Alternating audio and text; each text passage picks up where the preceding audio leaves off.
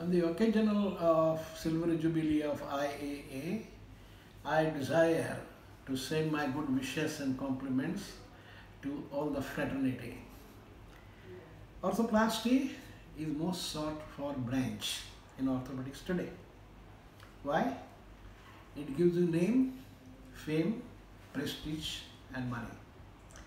But remember, with all this comes a responsibility, commitment and involvement. One has to understand that to achieve anything in life, you have to learn, you have to assimilate, you have to create a right environment and a commitment to assure arthroplasty patient that what he expects will be fulfilled related to his symptoms. But do not never give him false assurances. Explain to him the early merits and late problems he can face. It's an expensive operation. Today, if you really see, I have been in orthopedics for last 55 years. My journey has been from non-operative treatment to functional treatment, to fracture implants, to spine surgery, hand surgery, pediatric surgery, arthroscopy, which I never did, I'm not good at it, and arthroplasty.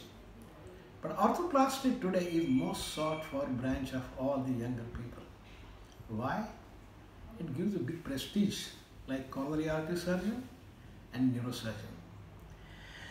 On this occasion, you have very established professors, experts who are trained abroad, trained in India. But let me tell you, do listen to fallen faculty, but do not forget to listen to Indian experiences because Indian doctors deal with most difficult situations.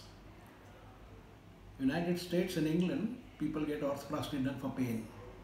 People come late here, so we have different problems. Remember that when you become everything, you go deep down to earn more and more and more and forget one important part of life, family, your wife, your children, your parents. Take out time, plan yourself. Every six months, take a holiday out, one week.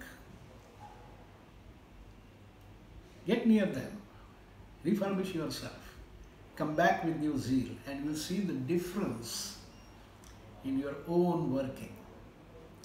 Keep in touch with your colleagues, keep in touch with academics, but that's not everything.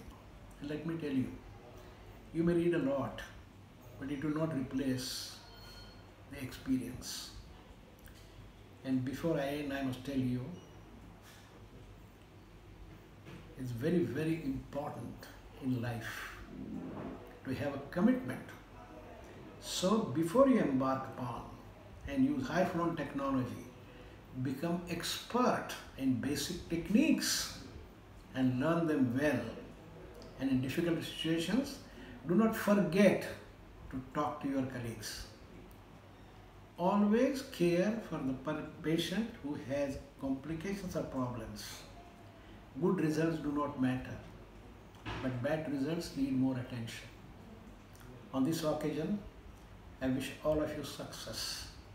You'll all become great men, great people, but become great human beings.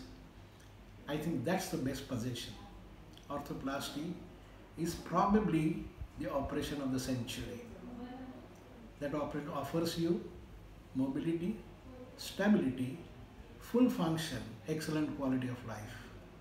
In my opinion, today it's not the life, but the quality of life that matters. Thank you. Good wishes to all of you. Let's enjoy the meeting.